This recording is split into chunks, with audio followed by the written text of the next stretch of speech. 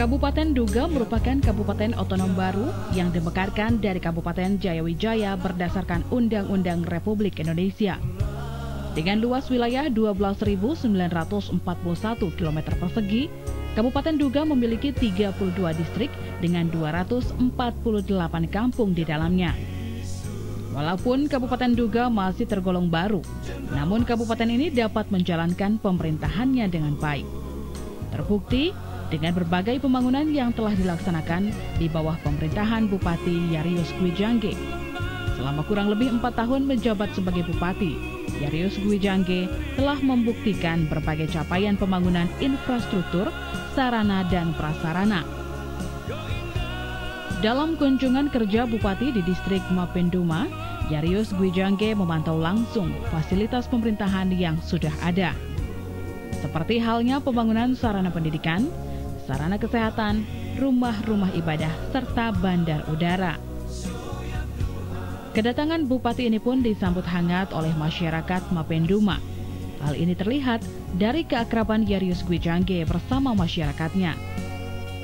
Bahkan Yarius Gwijangge terlihat tak canggung untuk berjalan menyusuri sungai kecil tanpa menggunakan alas kaki. Kecintaan dan dedikasi yang tinggi untuk kemajuan pembangunan di Kabupaten Duga ditunjukkan Yarius Gwijangge dengan keseriusannya memperpanjang landasan di Mapenduma. Selain itu, Yarius Gwijangge juga berharap kepada kaum intelektual yang berasal dari Mapenduma untuk kembali ke daerahnya guna membangun Mapenduma menjadi lebih baik.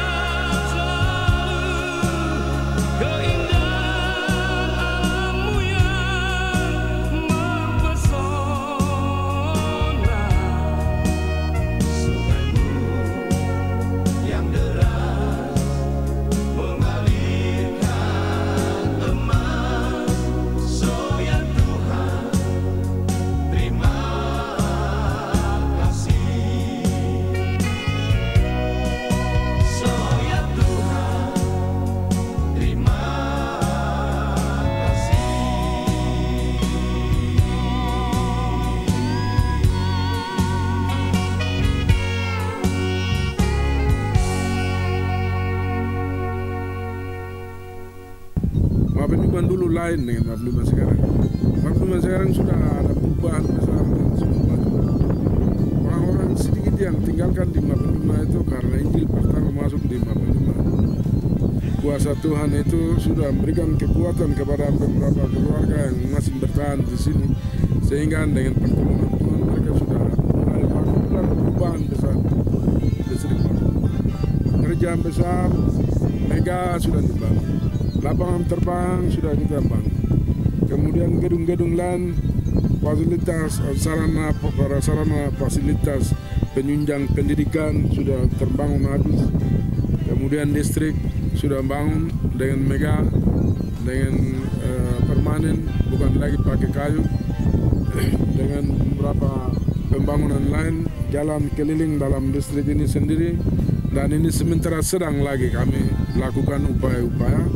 Air bersih mulai dibangun, kemudian kuburan uh, orang bersejarah pertama kali masuk di wilayah kita, uh, yaitu Vanderbilt punya istri, uh, kuburannya sementara sedang benahi, Injil masuk juga Tugu akan bangun juga sementara sedang bangun, air bersih sementara sedang bangun, semua sudah mulai bangun, daerahnya sudah menjadi perubahan besar, kalau mau lihat tidak usah nonton dari luar saja.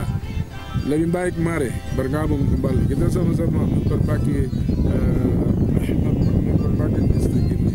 Siapa yang merasa kelahiran di sini termasuk saya kan saya merasa kelahiran di Mapinuma saya sering ada. Di sini Akses menuju Kabupaten Duga kini semakin mudah ditempuh menggunakan jalur udara dan laut.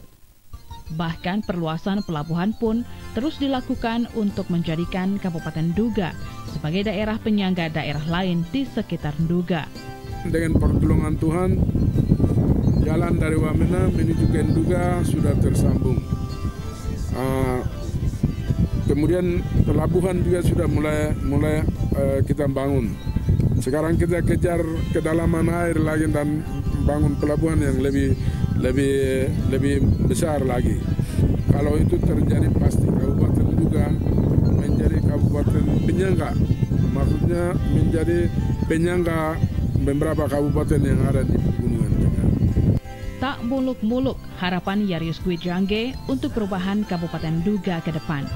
Karena dirinya percaya bahwa masyarakat dan kaum intelektual dari Kabupaten Duga dapat membawa perubahan besar di segala bidang terlebih khusus di distrik Mapenduma dan secara umum bagi Kabupaten Duga. Apalagi Kabupaten Duga memiliki potensi sumber daya alam yang sangat besar, namun hingga hari ini masih belum dimaksimalkan pengolahannya sebagai sumber ekonomi dan keuangan daerah.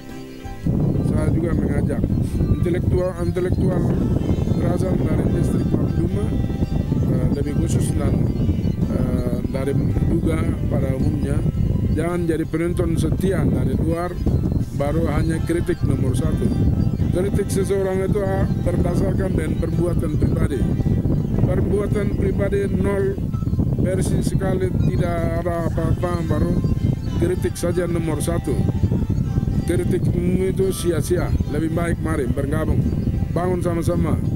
Dengan adanya otonomi khusus tidak ada orang lain bangun kabupaten Duga ini lebih khusus lagi distrik-distrik berasal dari intelektual masing-masing. Pulang kembali dan bangun distrik masing-masing. Jangan mengharapkan satu sama yang lain. Siapa lagi? Siapa yang bisa memperbaiki uh, memperbaiki daerah ini supaya anak cucu kita hidup ke depan lebih baik daripada hidup kita sekarang? Jadi, kalau bukan kita siapa? Kita inilah. Untuk itu saya mengajak seluruh intelektual berasal dari distrik Mapluma lebih khusus dan Kabupaten Duga pada umumnya semuanya pulang masing-masing distrik kemudian mulai mengajak orang tua membangun Duga dengan pelan-pelan sehingga daerah Duga ini ke depan lebih maju daripada sekarang.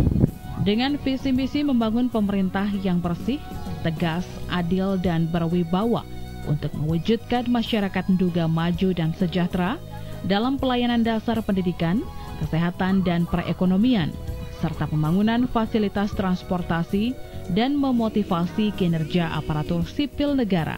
Niscaya Kabupaten Duga dapat membawa perubahan di wilayah pegunungan Papua. Hal ini sejalan dengan moto daerah Kabupaten Duga, Nindi Misiget Pemjabu Aunuok, yaitu Mari Bersatu Membangun Duga. Jadi saya mengajak seluruh masyarakat Duga mulai dari hari ini sampai seterusnya kita harus menjadi contoh yang terbaik kepada suku bangsa lain di muka tanah Papua ini. Bahwa kita membangun juga ini dengan satu moto yaitu Nindi Misiket Pemijabuanmu dengan satu uh, artinya kita membangun juga dengan dengan saya sekata, sepikir dan sehati membangun agar ke depan lebih berubah dugaan daripada.